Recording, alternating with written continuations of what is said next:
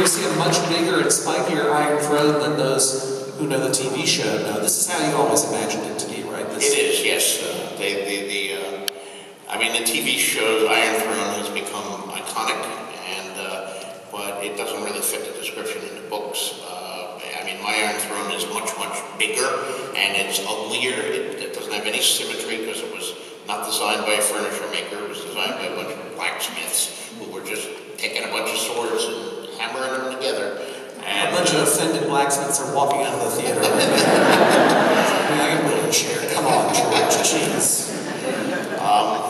So yeah, um, so but yeah, I love illustrated books. I, again, I'm, I'm uh, I guess channeling my own childhood when I had things like uh, Robin Hood and uh, Knights of the Round Table, you know, illustrated by great illustrators in the past like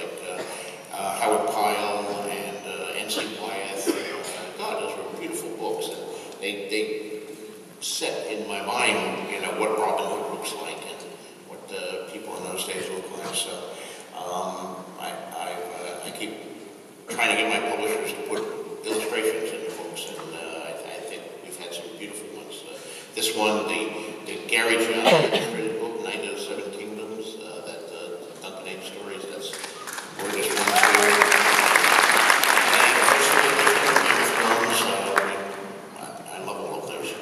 And sometimes the illustrations don't match each other up in terms of style of, and the visual of the characters and everything else. Are you comfortable with that? Do you have a very distinct idea of what the characters look like in your own head? Because readers will always take their own. they'll Well, I, I. I, I do have ideas of what characters look like in my own head, but I'm, I'm perfectly willing to let the artist do different interpretations. At this point, uh, you know, If the- you check out DeviantArt, they're definitely doing that.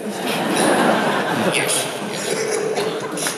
I mean, the world has been around, and uh, you know, let let different artists present their different interpretations of it. I'm, I'm fine with that.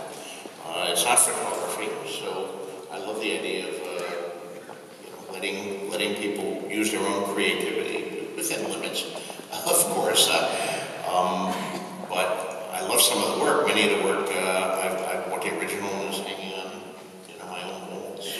So if you were to take a look at, at some of these illustrations, can you do, you do you know what they're of? That's, oh, that's not from that's not book. That's from Nightflyers, right? I think that must be. Yes. That's which is a, a novella that's being made into